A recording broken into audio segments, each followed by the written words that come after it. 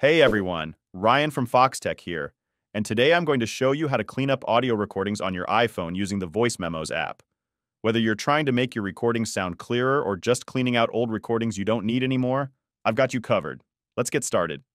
If your goal is to clean up the quality of your audio and make it clearer, you can use the Enhance Recording feature in Voice Memos. First, open the Voice Memos app on your iPhone.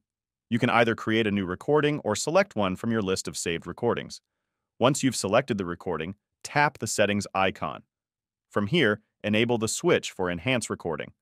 This will automatically reduce background noise and improve the clarity of your voice. Once you're done, just hit the X to save your changes and exit. But if you're more focused on cleaning up your recordings in the sense of deleting the ones you don't need, that's simple too. Open the Voice Memos app and review your list of recordings.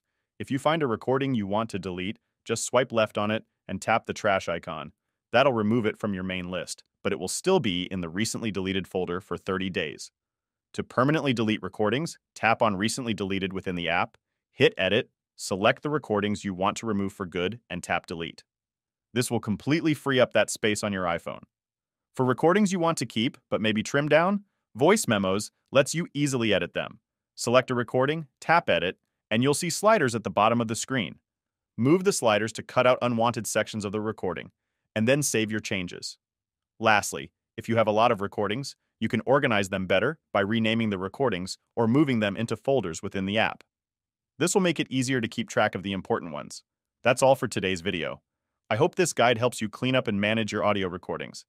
If you found this helpful, be sure to like and subscribe for more tips. Thanks for watching and see you later. E.